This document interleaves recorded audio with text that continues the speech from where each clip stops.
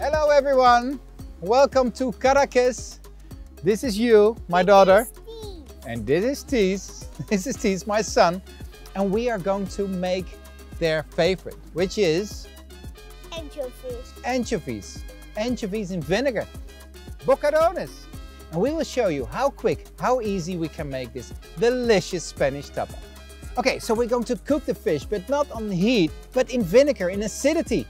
What we do, take off the head, take out the guts, we fillet the fish, clean the fillets, and we have it in vinegar in acidity for six to eight hours. We top it off with some simple but delicious ingredients, so let's kick off. Here we go. So we take the head off and simultaneously you take uh, the guts with you and basically with your thumb you open the belly of the fish and you take out the rest of the guts. Okay, Ties, wil je deze in de zee heel voorzichtig schoonmaken? So what I asked him in Dutch is to clean the fish really carefully. So if you make these at home, you just clean them on under slowly running water because these fish is really, really delicate. Okay, you take off the head, take out the guts. Oh, there we go. Okay, next one for you. So what I will do is fillet the anchovies. Cut with a small knife towards the tail of the fish. Then I turn it around. Now I start at the tail side and you slowly move your knife backwards and forwards towards the head side of the fish. And all what's left is this beautiful tiny little bone for the birds. So we, we place them on a tray with the skin side down. So what I did was like, well, a mixture of 60% vinegar or 65% and the other 35, remaining 35% water. Well, to balance the flavor, to make it a bit milder. You don't have this acid kick.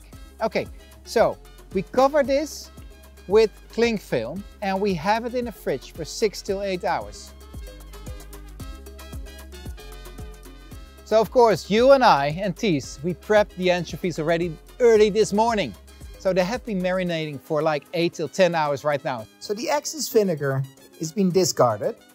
Ah, beautiful you, beautiful. So what you see is that the, the color of the, the fish fillet became really opaque, which means the anchovies, the fish is cooked and ready to be served, but not before we add some delicious ingredients to it. So you, we pour over some olive oil. Delicious, so it balanced very well with the acidity, with the sourness. And now we add a bit of garlic.